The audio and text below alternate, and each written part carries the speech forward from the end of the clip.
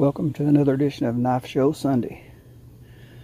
Pay no attention to the knives in the backgrounds because that is just teasers for upcoming videos.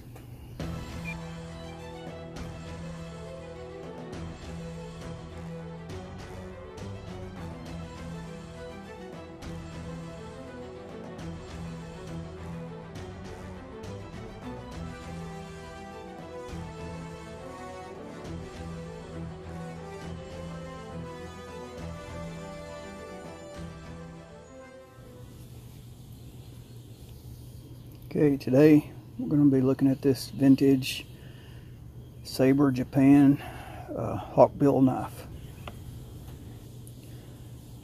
This is a uh, beautiful knife. Love these dark walnut scales. Oiled them a couple times today already. This oil was really, not the oil, but the uh, walnut was really dry. I mean, it is really soaking up this oil. This is the second oiling I've gave it. And uh, I'll probably have to do it again before the day's over with. Check out that grain.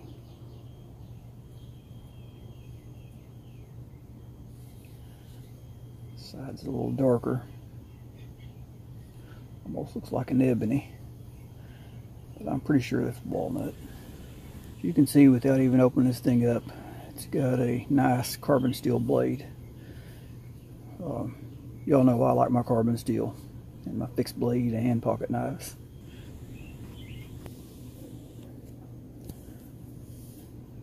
As you can see, the blade, Sabre Japan. Solid old knife. Okay, I bought this knife probably a year ago, last spring if I'm not mistaken, so right at a year. And I bought it as a knife lot. Guy had three or four of these in his in a yard sale, and uh, I think I offered him uh, twenty dollars for the three. Might have been three. I offered him twenty dollars for the three. He took took it, and uh, this one was in the best shape, so I kept it for my personal collection. Sold the other two for ten dollars a piece and uh, so it's like getting a free knife. Hey, you can't beat that. Okay, the fit and finish on these is not perfect. You can see some small gaps between the spring and the liners. Uh, the pins kind of sharp. You can feel them. Just rub your fingers across them. That one's flush, but these two recess a little bit, both sides. End one's the only one that's really that's really flush down in there. But this is a uh, this knife was meant to be a tool. I mean, it, it, wasn't meant for looks, so I mean, it doesn't have to be all fit and finish. I mean, it, it, I think this uh, Hawkbill design was designed for pruning, if I'm not mistaken.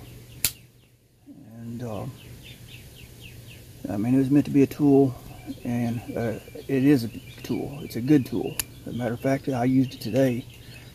We had a late frost that got my rose bush and uh, burned up uh, several of the leaves on it. So uh, I did use this today for uh, pruning the uh, the burnt branches off the rose bush. Like I said, it's it was designed to be a tool, and it is. I mean, it's a good tool. It worked good for its purpose.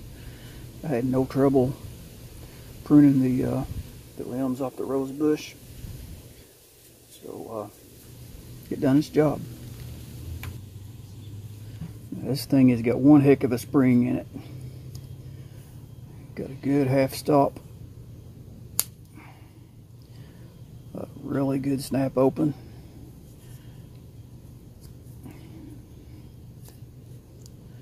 Yeah, I kind of caught it, but it does have a um, really good snap closed. So I mean this spring still got plenty of life left in it. I don't think this thing's been used a whole lot. Just I got a good patina from age. I mean I can tell it's been sharpened in the past, but it, it doesn't have a whole lot of use on. It. Get a measurement on this thing. So I've been carrying this in my pocket this morning, and uh, it's not a real heavy knife and it's comfortable to carry.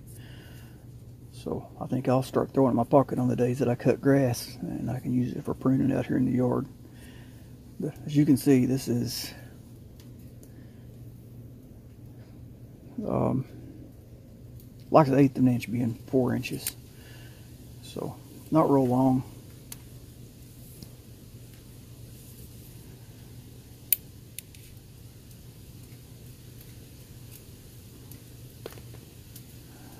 Cutting edge on that blade looks like is uh, three and an eighth. I'm sorry, two and an eighth inches.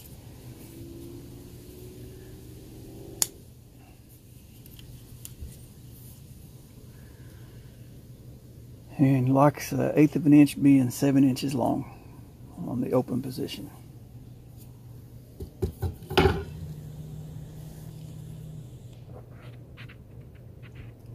All right, you all know the routine. Like, share, subscribe.